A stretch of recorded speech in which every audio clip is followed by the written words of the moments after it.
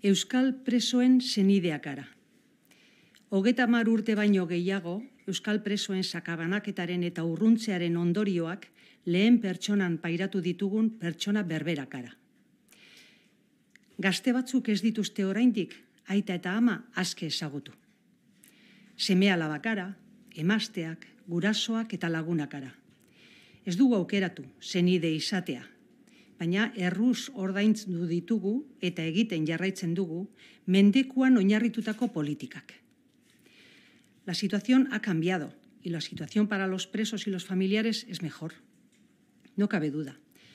Gracias a la implicación social, a los compromisos institucionales, al trabajo de agentes sociales, por efecto de la movilización de la sociedad vasca, parece que vamos cerrando este ciclo, el del alejamiento y la dispersión, el de la más cruel excepcionalidad penitenciaria.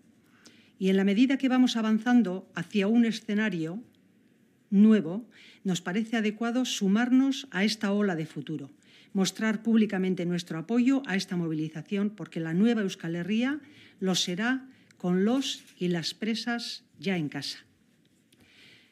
Berriro diogu, egiaztatu besterik ez dugu egiten. Euskal gizarteak bizikidetzarantz aurrera egiten jarraitu nahi du gehien bat. Memoriaren egunaren bespera honetan, aipatzekoa da, gainera, gizarteak gatazkarekin zerikusia duten sufrimendu guztiak aitortzea nahi duela. Memoria poliedrikoa behar dugu.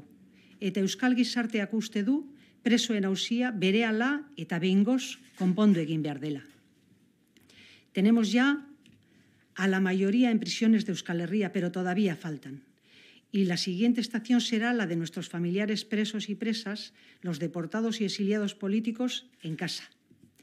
No va a ser sencillo, con el bloqueo que mantiene la justicia española a permisos y terceros grados, con la anomalía del doble cómputo de penas a quien han cumplido condena en el Estado francés y la venganza de la cadena perpetua encubierta vía Ley 7-2003 pero no nos van a tener mirando al pasado. Seguimos mirando hacia adelante, reiteramos nuestro compromiso por un futuro mejor para todas y para todos.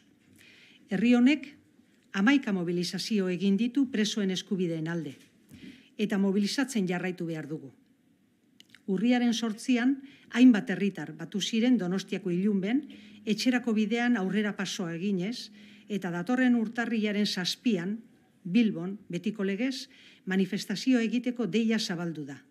Bitartean, azaroaren amabian, Euskal Presoen hausia behingoz konpontzearen alde, Bilbon izango gara Euskal Presoen zenideok ere. Abante, Bilboko kaleak betetzera. Azaroaren amabian, denok Bilbora. Gu bertan izango gara.